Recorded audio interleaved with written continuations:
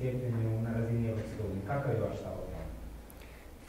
Ne mislim da cijepljenje treba biti obavezno, a ne vjerujem ni da se ta mjera može uvesti iz nekoliko razloga. Prvi je razlog, sada već poznajemo volju naših građana, recimo u Hrvatskoj oko 40% građana ne želi se cijepiti. Stoga ne bismo mogli govoriti o obaveznom nego o prisilnom cijepljenju, a imajući u vidu već održane proteste, otvoreno je pitanje hoće li ovakva mjera rezultirati još većim buntom s moguće nesagledivim i katastrofalnim posljedicama. Drugo, ova bolest nije jednako opasna za sve dobne skupine. Kao što se odrasli ne cijepe protiv dječjih bolesti, otvoreno je pitanje trebaju li se djeca i osobe mlađe životne dobi cijepiti obavezno, ne samo ako žele, i protiv ove bolesti.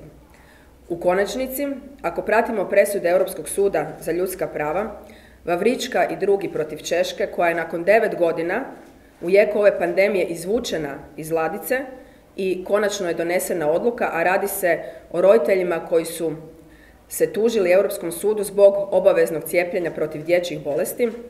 Pravorijek je bio da je ono dozvoljeno, međutim argumenti koji su upotrebljeni bili su da je riječ o cijepivu koje je poznato, koje spriječava širenje zaraze.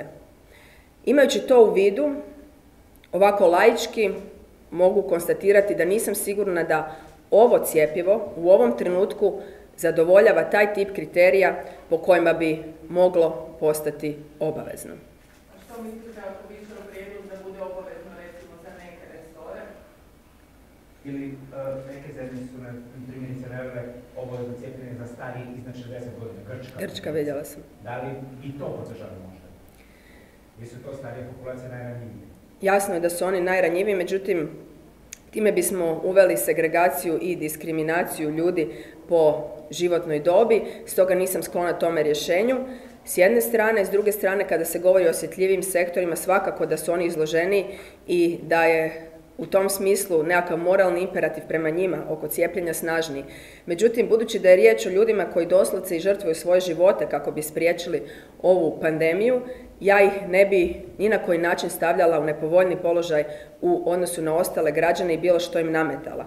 Također treba imati u vidu da nisu svi ljudi u istoj situaciji. Imate ljude, pa evo i poput mene same, koji su preboljali COVID, koji su se susreli s bolešću i kojima je tek prije nešto više od godinu dana isteklo, istekao taj rok kada su mogli koristiti COVID potvrdu. Mnogi takvi ljudi se ne žele cijepiti i mogu argumentirano objasniti s obzirom na radove o stečenom imunitetu, zašto to ne bi bilo nužno za njih. Dakle, puno je različitih slučajeva i zbog toga nametanje univerzalne obaveze smatram da u ovom trenutku nije opravdano, a da bi moglo imati velike posljedice i po demokratski sustav kao takav i konkretno na ulicama u vidu nemira i ko zna čega još.